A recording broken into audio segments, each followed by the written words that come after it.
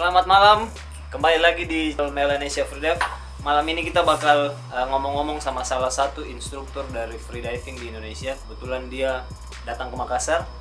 Saya manfaatkan waktunya buat ngomong-ngomong dan tanya-tanya sedikit tentang aktivitasnya dia. Menurut saya, semangatnya dia sebagai seorang freediver patut untuk saya cungi jempol. Saya respect sama dia, semangatnya dia, perjuangan dia sampai akhirnya dia jadi seorang instruktur di Indonesia. Oke? Yuji Fujito.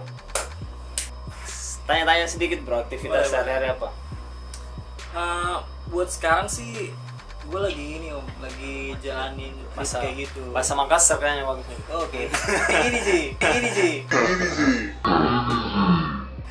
saya sih.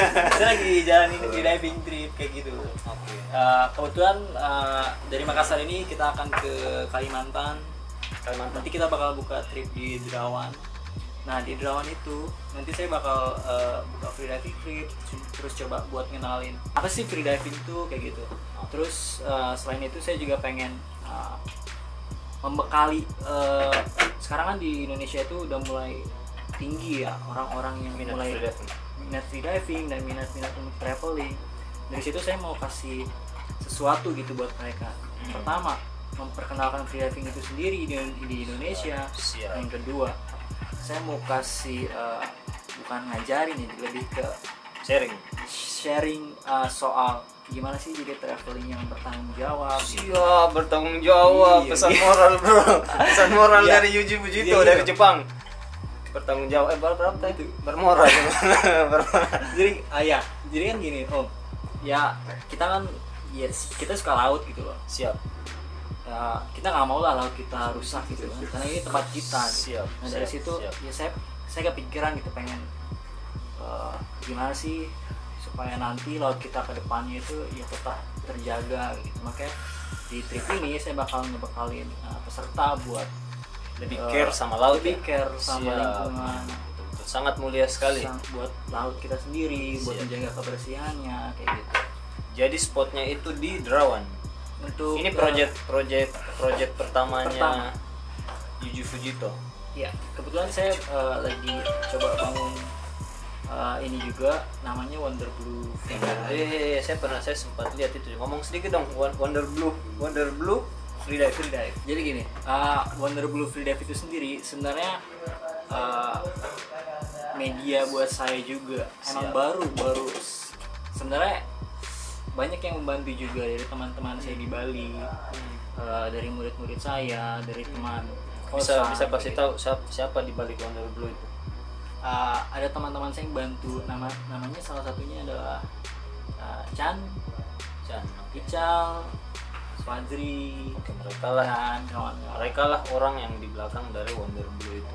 Iya, mereka mensupport uh, apa yang saya lakukan lakukan untuk Wonder Blue. Siap, siap, siap.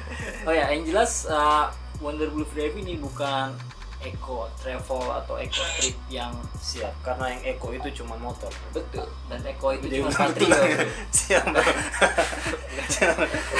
Jadi eh, Wonder Blue Freediving ini sih sebenarnya menurut menurut saya sih sebenarnya dari sudut pandang orang orang lain ya. Menurut saya sangat keren. Artinya eh, konsepnya bagus. Kemudian visi misinya mereka ada.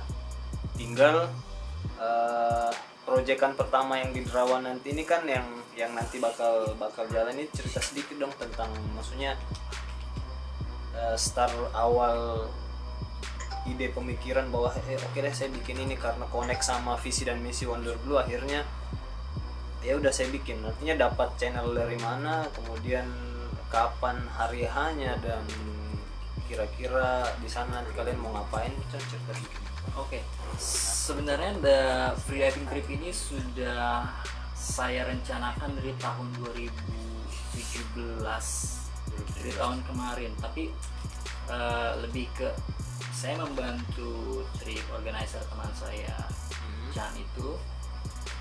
Tapi eh, kebetulan ya ada sedikit hambatan lah jadi belum terrealis terrealisasikan. Jadi kok, kok pilih Derawan gitu? Kan kita taunya ada banyak banyak spot kayak Labuan Bajo ada itu. Bali kok kebetulan uh, wilayah pasar untuk ke trip organizernya dia sendiri itu besar di Derawan Derawan. Oke. Dan uh, dia yang akan mengorganize dan saya memberikan ide-ide apa saja sih yang akan kita lakukan di trip itu. Salah oh jadi si Chan ini si mengor- Betul. dia yang mengorganize tuh trip ini jadi kerjasama antara si dia dengan Wonder Blue Betul. siap sangat bagus sekali ya kapan ya Melanesia bisa begitu ya saya suka karena saya suka karena proyekannya Wonder Blue ini sebenarnya semakin memperjelas status freediving kita di Indonesia bahwa freediving itu tidak sekedar menahan napas saya sangat suka karena eh, membuka sisi lain dari freediving mengajak teman-teman di luar sana bahwa freediving itu sekali lagi bukan hanya sekedar kompetisi. Freediving itu bukan hanya sekedar lu beli wetsuit mahal lu beli fins mahal terus kau pasang di sosial media tidak seperti itu. Jadi kita bisa pakai skill itu buat yang seperti visi misinya Wonder Blue. Kita bisa manfaatkan buat misalnya jaga lingkungan laut sekitar kita dan lain-lain. Sangat mulia.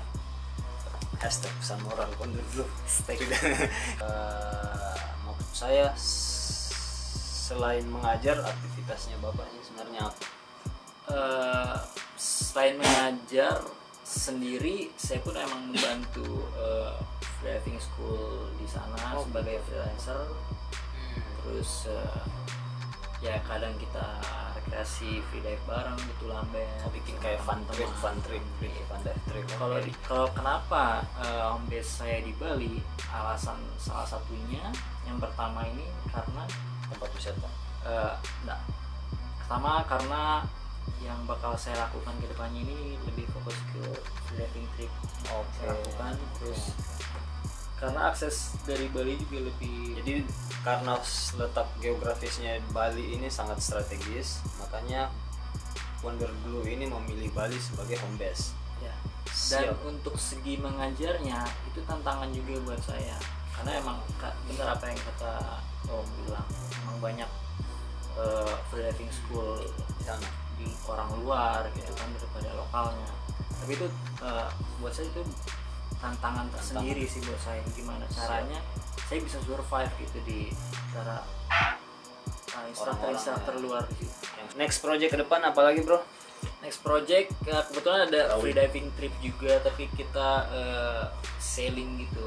Di Oke, jadi setelah. Derawan sailing ke Komodo? Iya, dan itu Wah, kita eh, kerja sama sama salah satu Miss Kuba Indonesia tahun 2017 siap ikut kayaknya untuk eh, Hendra Irian saya ikut bro. Gawat. Untuk eh, mengisi acara di eh, trip kita untuk memberikan sharing-sharing soal ya itu dia. Balik lagi ke Kembali ke visi misi Blue. responsible traveler.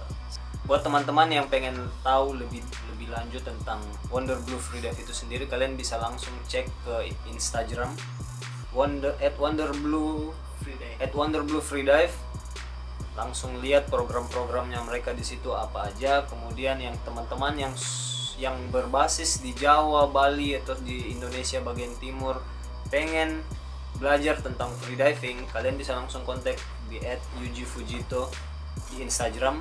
Oke kalian bisa langsung kontak dia. Sukses buat Wonder Blue Freedive dan semua project-projectnya.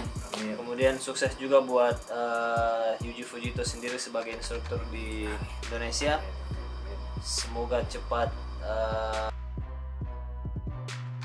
Oke, sukses buat semuanya bro, project-projectnya. Terima kasih sudah datang di Makassar.